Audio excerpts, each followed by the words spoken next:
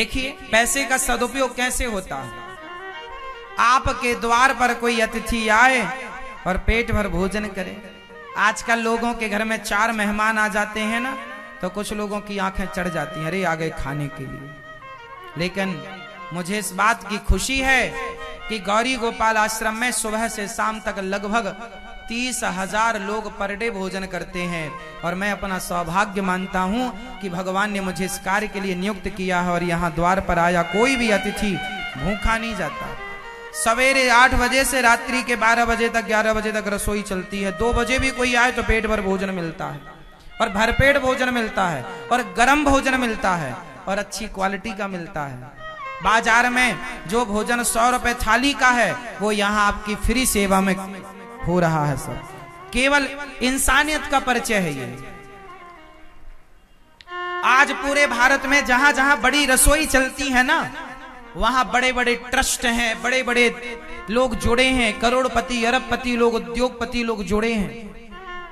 यहाँ तो केवल ये दास, आप लोग जो सहयोग कर देते हैं, उसी के बल पर आज पूरे भारत देश की सबसे बड़ी रसोइयों में एक रसोई गौरी गोपाल जी की रसोई है।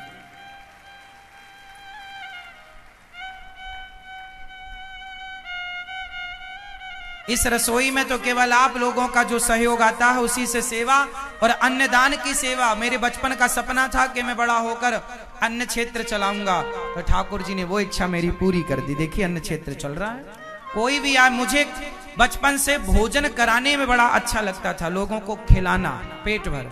देखो, बचपन की इच्छा थी, उस ठाकुर जी ने पूरी की। इसलिए मैं इस कार्य को भगवान की कृपा मानकर, ईश्वर की आज्ञा मानकर करता हूँ। कि ये काम तो भगवान का है, उन्होंने हमें और आपको निमित्त बना रखा।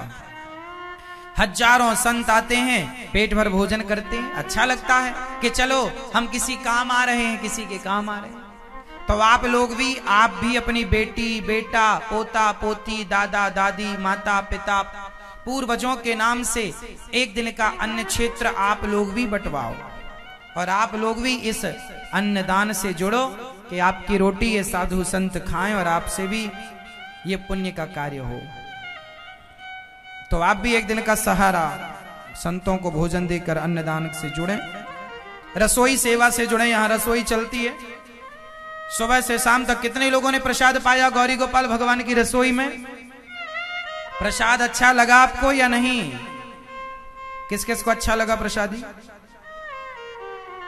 सबकी सेवा। किसी के लिए मना है क्या यहाँ पर? ना यहाँ पर जात, ना पात, ना ऊंच, ना नीच, सब एक साथ भोजन प्रसाद ठाकुर जी का लेते हैं। कोई भेद भाव नहीं है यहाँ। किसी से एक रुपए शुल्क नहीं है। एक सी व्यवस्था सबके लिए।